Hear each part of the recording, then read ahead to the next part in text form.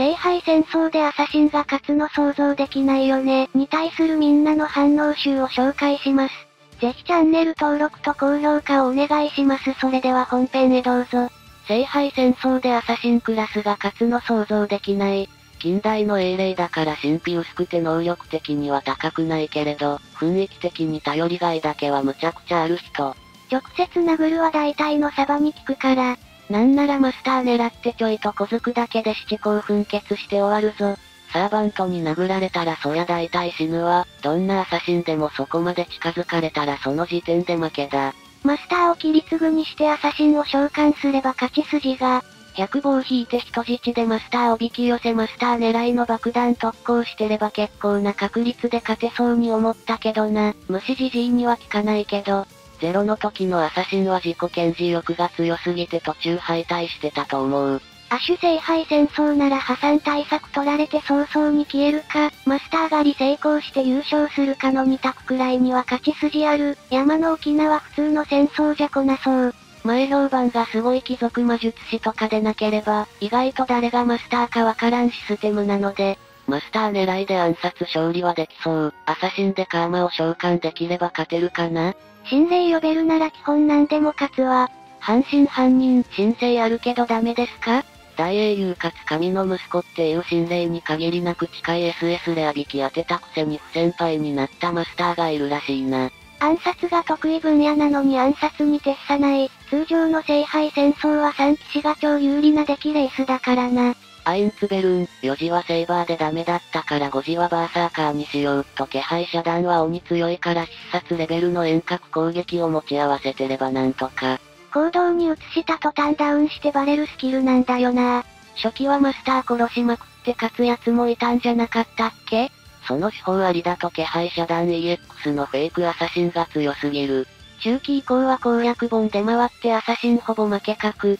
亜種聖杯戦争はそう、暗殺者の春と呼ばれた。そいつらは優勝して何したの？亜種聖杯戦争の商品は根源接続機じゃなくて膨大な魔力リソースなんすよ。まあ受肉ぐらいはしたやついるかもしれないけど、もらえる魔力が膨大だから大体のことはできるので、万能の願望機ってのは嘘じゃないってのが売りだしな。ベースがめちゃくちゃ強くてアサシンクラスで召喚された場合でも3騎士以上な奴を呼ぶ、正規の聖杯戦争だと基本的にマスターは誰かしらががっちり守り固めるし、サーバントで迎撃されるからほぼほぼ無理。それをかいくぐってこそのアサシンの英霊だと思うんだけど微妙なんだよな。ヘラクレスをアサシンで呼べば優勝間違いなしよ。アーチャーで呼んだ方がよくね？あの巨体が気配遮断で隠せるかどうか。隠さなくていいしな。毒矢で全部暗殺だ。ヘラクレスアサシンなったらヒュドラの毒矢ばっかり使ってくるのかな。知名度がある英霊ならアサシンでも強いやろ。原作があれだったからか、FGO ではスレがなんか徹底的にいい人になってて笑っちゃった。円卓あたりもそうだけど、完全召喚で行かれてたけどランサーの心臓食ってからはまともだし、本編以外の花札とかもろもろで元からあんなキャラだったよ。そもそも組織のトップなんだから、まともじゃなきゃ務まらないし任命されない、ワンタッチしてから離脱できれば心臓潰せるスレガワアサシンとしては割と強い能力だと思うの。心臓ない奴は勘弁な。小次郎ならアサシンでもまともに戦えちゃう。あれも本来はセイバーとかだろうけど、空中要塞作れたらセミ様は強いぞ。破産はそもそも原作の時点で虫じじいに対する忠誠心の高さを評価されてた。運よくマスターコロコロできても主人やられた英霊の報復をかいくぐって数時間過ごさないといけない。最悪新たにマスター得て延長もある。キャスタークラスが鬼門そう。3騎士やライダーも探索系の魔術使えるやつはいるし、セイバーは言わずもがなキャスターはステイナイトのバッドエンドや FGO 冬木やエクストラ、アーチャーもエクストラで優勝ルートあり、アサシンはアッシュ聖杯戦争で無双したらしいし、バーサーカーも CCC ギルルートが表だと騎士並みのサーヴァントだったはずだから優勝してる？ライダーとランサーはわからん。アポ世界の三次ではフィン召喚したダーニックが大聖杯奪取しとる。レクイエムでエリセのばあちゃんがランサーで優勝してる。じゃあ勝ち描写内のライダーだけなのか。いやライダーもありそうだけど、そもそも冬木方式の聖杯戦争自体が茶番劇だからな。初代様が接近、残、以上、普通に殴り合い強いからね初代様。アサシンクラスのヘラクレスを召喚すれば優勝したも同然だとイアソンが言っています。その場合ヒュドラ毒の矢が宝具かな？ヒュドラ毒を塗ったパンツ履かせるシーン宝具使いというケースもワンチャンあれ、なかったか。サバたちも通常枠ならマスター暗殺が基本手だって種が割れてるのが痛い。だからこそ処分先生のような真っ向からでも十分強い存在とかが脅威ではあるんだが、純粋な暗殺者より武人や戦士の別側面とかの方が汎用性が高い存在になるケースが多い。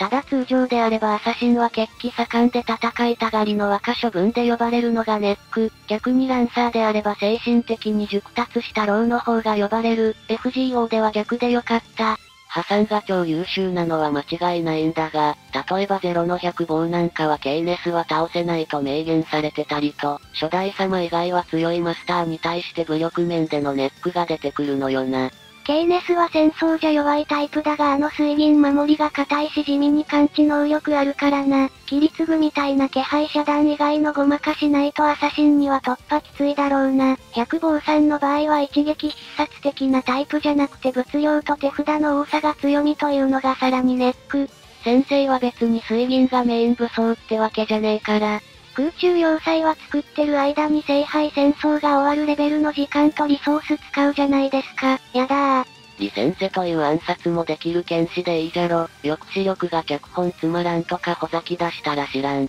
いやライダーもありそうだけど、アポで最後に残ったのはライダーのアストルフォだし、ヘブンズフィールルートでもメブーサさんが生き残っている。でも聖杯戦争の勝者かって言われると微妙じゃない？どちらかというと生き残りってだけで、聖杯戦争自体生き残りバトルロイヤルなんだから、生き残るイコール勝者でよくねえか？そもそも勝者がいるパターンが稀、聖杯戦争は最後の一人にならんと無意味なのでアサシンはきつい。勢力が入り乱れるうちは良いが、陣営が少なくなると積む、対戦の方が活躍するクラス。対戦も結局は敵陣営倒したら味方陣営で最後の一人になるまで戦うから変わんなくね。極端な話聖杯戦争で弟ノップが来て役に立つかって話やな。もちろん宝具で弓ノップかアベンジャーノップや水着ノップが生贄したら来るかもしれんけど、初見のマスターがそんなこと知るかって話よ。日本人すらここまで思考追いついているやつそんなにいない。つまりアサシンでもチャンスはあるってことよ。ところで破産対策って具体的に何すればよいんだろう？マスターを表に出さない、死なない、もしくは死ににくい存在にしたり場所に置く。場合によってはアキレウスとかが持っていた決戦宝具や固有結界のようなフィールドを形成し、怠慢もしくはサバとサバとで決戦を誘発する陣地系宝具があると破産たちには鬼門。その辺は誰が相手でもやれよってレベルじゃないかな。ひよこ豆を持って誘い込むとか。あとは、猛毒耐性のグダオみたいになるとか。100棒とは言ってねえけど3日で終わるなのが切り継ぐコンビ。アシュでも対策されるからにはそれなりに暴れたんだろうねおっきいなら生き残れそう。勝てるかどうかは別問題だけど、ジェットじゃない方のアサシン沖田さんとか強そうだよね。気配遮断からの不意打ち宿地プラス3段付きのガード不能即死連携を崩せるサバなんてそうそういない。実際本人も言ってるようにケンサバより適性あるし発作をヒットウェイで多少はカバーするから、沖田さん本来の個性で戦っていくならアサシンなんだろうね。某作品での魔王に一人で立ち向かう英雄ってアサシンだよな、みたいなセリフを思い出す。参加人数の少ない亜種聖杯戦争ならいけなくはないのだが、むしろ人数少なくなるとアサシンは辛そう。セイバーランサーアサシンとかで残ると、正面から戦う機会が避けられない。とりあえず昼間は安全だから、アサシンさんは昼間の間に敵マスターやるんだよ。レイ、リンみたいに昼間は学校に行くやつとか。アポの乱立した亜種聖杯戦争でアサシンが猛威を振るったらしいぞ。マスターを殺すことに関して言えばジャックは強いのでは？皆さんは聖杯戦争でアサシンが勝つの想像できないよねについてどう思いましたか？ぜひコメント欄で教えてくださいまたチャンネル登録と高評価もお願いします。